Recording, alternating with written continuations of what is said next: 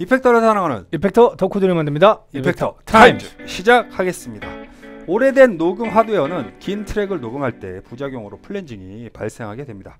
위키피디아에 정리된 내용을 보면 누가 flanging을 시작했는지에 대한 다양한 주장이 있으며 실제로 1940년대 후반과 50년대 Les Paul이 그 효과를 발견하였다라고 기록되어 있습니다. 많은 연주자들이 알고 있는 것처럼 비틀즈의 녹음 작업에서도 이런 현상이 발생하였고 이 기술을 처음으로 flanging이라고 부른 사람이 바로 존 레논이었습니다. 위상차를 이용하여 마치 제트기가 날아가는 듯한 사운드 효과를 만들어내는 flanger 페달. 코러스나 phaser만큼 자주 사용되어지는 effector는 아니지만 적재적소에 사용하면 큰 인상을 남기는 effector로서 마니아들에게 큰 사랑을 받고 있습니다. 오늘 Effector Times에서는 베스트 flanger 페달을 한 자리에 모아봤습니다. 오늘 만나볼 flanger 페달은 다음과 같습니다. Subdecay의 Starlight V2 Universal Audio의 UAFX Astra Modulation Machine Walrus Audio의 Polychrome Analog Flanger unique한 사운드로 연주자들에게 큰 영감을 선사하는 flange 사운드 은총 씨의 연주를 통해 그 매력을 알아보도록 하겠습니다.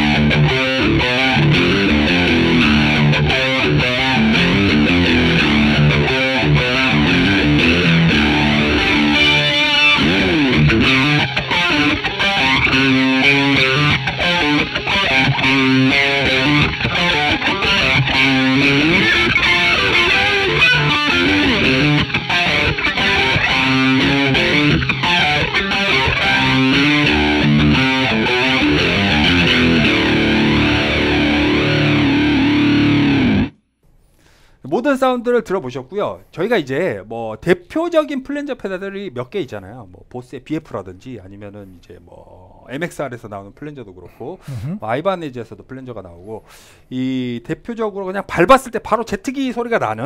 음, 그런 flanger 페달들도 있어요.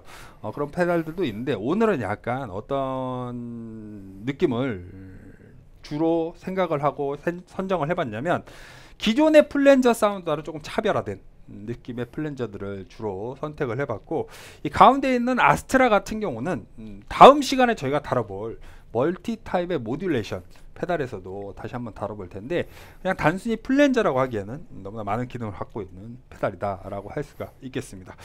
어, 선택의 포커스처럼 정말 오늘 조금 unique한 flanger 사운드들을 다 셋 다 들려줬던 음, 느낌을 받았고요. 은총 씨께서 이 세 대의 flanger 페달을 연주를 해보셨는데 느끼신 소감을 공유해 주시면 좋을 것 같습니다. 그 저 여러분들은 flanger 소리에 대해서 감각적으로 기억하는 어떤 기억들이 있으신지 모르겠는데 음. 제가 오늘 그 시연 때 쳤던 어, RATM의 그쵸. Wake Up이라는 곡에서 저는 처음으로 flanger 음, 사운드를 음. 들었습니다. 근데 뭐 그것도 되게 재밌는 거는 RATM 곡으로 들었다기보다는 고등학교 1학년 때 RATM 곡을 공연하는 형들 음, 음, 음. 어느 학교 밴드였는지 모르겠어요. 근데 이제 그 웨이크업을 듣고 음. 저 소리는 뭐지? 어, 어, 어. 가 기억이 나요. 그 계속 비행기가 뜨는 소리가 나죠. 이렇게 뭐 소리가 돌잖아요. 그쵸. 그 기억이 아직도 생생한데 그 이후로 이제 RATM 음악을 들어보고 아 이게 이 소리구나.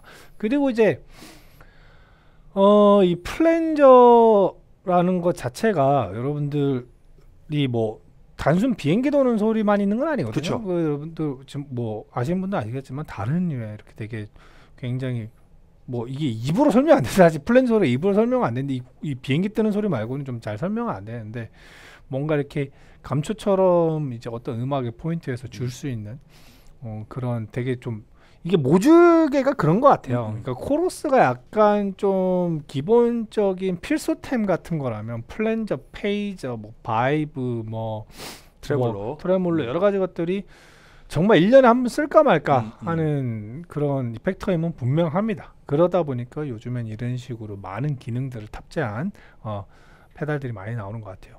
그 레니 크래비츠 곡에서도 음. 그 구간이 있습니다. 그 얼리고나고 마이 웨이라는 곡 들어보면 중간에 기타 솔로 들어가기 전에 리프 하나요. 음. 따, 밥, 밥, 빠바밥 요 부분에 보면 이제 flanger가 걸려서 이제 그렇죠. 음. 쿡쿡쿡쿡쿡쿡쿡쿡 뒤에 기타 소리 뒤에 이렇게 음. 소리가 돌거든요. 그러니까 어떤 뭔가 분위기를 반전시킨다거나 이제 브릿지 역할을 해주는 어떤 그런 아니면 혹은 진짜 매, 그 RATM처럼 메인 riff가 그쵸. 나올 때 쳐버린다거나 음. 그러니까 이런 그 이 뻔할 것 같은 riff에 환기를 확 줄 수 있는 아주 좋은 effector거든요. 근데 이제 아까도 말씀드렸지만 어 그렇게 많이 밟는 페달은 아니에요. 뭐 모든 음악을 이걸 다 밟아치면 또 반도 재미가 없어지잖아요. 그래서 어 저는 뭐 최근에도 이제 어 저한테 레슨을 받으시는 이제 형님이 한 분 계신데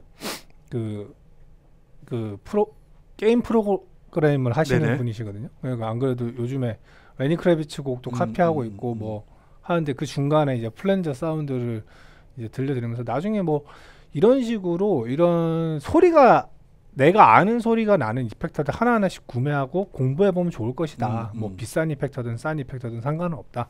어, 본인이 그런 식으로 하면서 이 톤을 잡고 이제 이 재미가 굉장히 좋을 것이다. 왜냐하면 기타만 치는 행위만 가지고는 사실 딱히 재미가 없어요. 음. 그 여러분들 이펙터가 하나하나 생기면서 그 새로운 소리. 근데 그런 재미를 줄 수 있는 계열이 모듈이라든가 음. 이제 필터류들이거든요. 큰. 음. 왜냐하면은 특이한 소리들이 많기 때문에 어 그래서 요런 단순하게 뭐 이게 무조건 꼭 사는 데보다는 여러분들 공부하시면서 재미까지 가져갈 수 있는 계열이 모듈이라는 거죠. 그래서 여기 앞에 있는 이 세 페달들은 거기에 굉장히 합리적이고 좋은 페달들이죠. 왜냐하면 소리도 종류도 다양하게 들어 맞습니다. 있고 뭐 특히 이제 중앙에 있는 이제 UAD 제품 같은 경우는 뭐 거의 끝판이죠. 음. 뭐 제가 레코딩 할 때 듣던 그 굉장히 고급 음.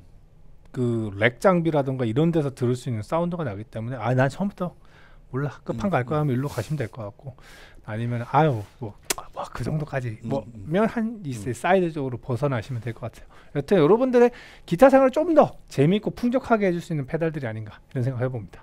그렇습니다. 저는 오늘 한번 다시 한번 느낀 부분이지만 그냥 모듈이라든지 필터 계열은 역시나 Subdecay가 어, 최강자다라는 생각을 다시 한번 음. 갖게 갖게 됐고요. 물론 Walrus Audio의 이 flanger 같은 경우도 어, 굉장히 유니크한 사운드를 연출했던 부분들이 있습니다. 아까 은촉 씨가 굉장히 잘 정리를 해주셨는데 사운드의 환기 음. 혹은 음, 제가 처음에 설명해서 말씀드렸던 것처럼 이 가장 들었을 때 청자들이 어, 가장 먼저 오, 굉장히 인상적으로 받아들일 수 있는 사운드가 바로 flanger가 아닌가 음. 라는 생각을 다시 한번 갖게 된 시간이었습니다. 저희는 다음 시간에도 다른 effector를 갖고 것을 약속드리면서 이 시간 마무리 짓도록 하겠습니다. 네. effector를 사랑하는 effector 덕후 드리먼입니다. Effector Times 다음 시간에 뵙겠습니다. 감사합니다.